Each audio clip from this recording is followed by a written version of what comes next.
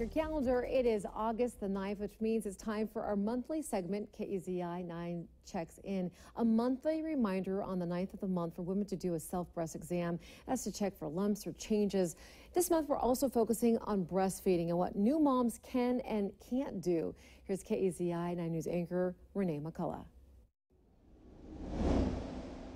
Joining me now is Dr. Johanna Higdon from Women's Care, and it is National Breastfeeding Month, so we wanted to start with the main benefits of breastfeeding.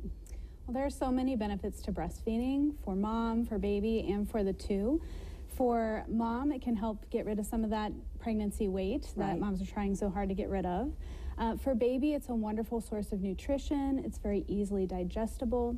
And breast milk also passes on antibodies that can help protect baby from illnesses and even down the road from decrease the risk of getting asthma and other um, illnesses later in life.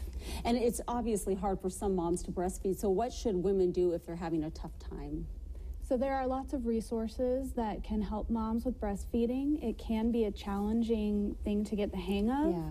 Um, and so often we think of it as an easy and natural thing, but it's a lot of work. Tough, yeah. So they should talk to their OBGYN or their pediatrician. If they have access to a lactation consultant or a lactation nurse, that's a fantastic resource as well. And there are also support groups for breastfeeding moms that can be helpful as well. Moms cut out a lot of medications and foods to keep their babies safe when they're pregnant, so does that carry into breastfeeding as well? It does. Many and most medications are safe during breastfeeding, but it's important to talk to your doctor or your pediatrician um, before taking those medications. Smoking is definitely something that should continue to be avoided during breastfeeding.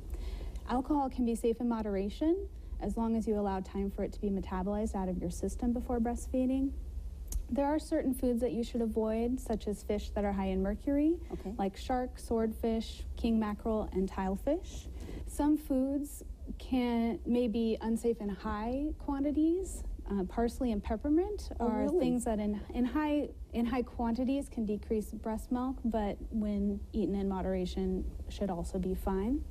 Certain foods can make baby more fussy or cause some more gas. And although those things aren't unsafe to be eating during breastfeeding, you may want to try eliminating some of those things from your diet. Just for the sake of getting some more sleep, right? Yes. Uh, do women need breast pumps? There's so many options out there now. Right. There are a breast pump can be a very helpful tool during breastfeeding, but it's not a necessary tool. Okay. Hand expression is another thing that can be used, but breast breast pumps can be very helpful and can be obtained through insurance generally. What about if you- you've tried everything and you can't breastfeed, and so now you're looking at formula? How do you decide what's best? Mm-hmm. breastfeeding isn't successful for everyone, and it's important to remember that. So, there are many formulas out there that are a good nutritious source for baby. Generally, you would want to start with a cow's milk formula, um, and it, only in occasional circumstances do you need to use soy for your baby. It, talking to your pediatrician is another thing that can be very helpful. Okay, great. Thank you so much for joining us today. And if you would like to know more about what medications you can take when you're pregnant and breastfeeding, you can go to womenscare.com. Women's Care does offer some breastfeeding classes as well. They have a lactation nurse. Remember, be sure to go to our website to sign up for KEZI 9 Checks In. We'll send you a reminder each month to do your monthly self breast exam.